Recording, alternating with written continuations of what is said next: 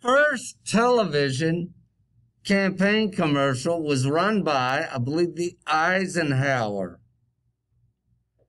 campaign. Which presidential debate is credited for showing television's power in the debate process? And that will be Kennedy versus Nixon. Which method discussed in the video is now the quickest and cheapest way to get the message out of a politician or candidate? And that's probably the internet. Why? Because it's free and you get to control what's said. All right. You may not be able to control the comments, but you can control what is said. And it looks like we got them all right. What kind of poll is usually taken at the beginning of a political campaign? And that will be a benchmark poll. You kind of get an idea of where, how popular a person is before they even get involved in the race. In general, exit polls are used by the media to predict the winners of elections. Having a large sample size will usually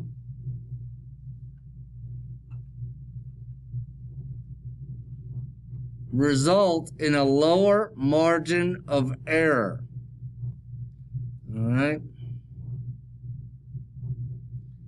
And it looks like we got them all correct. So, first, a network of people who rotate jobs between government positions, interest groups, iron triangles. This is the name given to organizations who attempt to affect the political process by informing and influencing members of the government to pass or block laws, interest groups. This is the name given to a person who tries to influence legislation on the behalf of a special interest group. That person's called a lobbyist.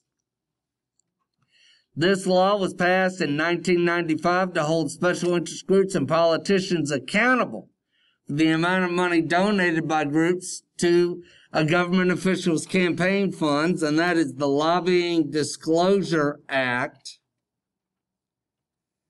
This is the name of a nonprofit special interest group who attempts to uphold the Second Amendment to the Constitution, the National Rifle Association. This is a nonprofit special interest group whose mission is to defend the rights and liberties of individuals in the United States. That is the ACLU.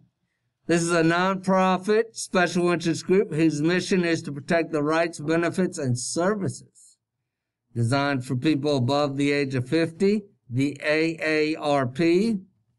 And this is the name given to the Professional Association of Teachers and Professors who attempt to protect the interest of its members, and that is the National Education Association.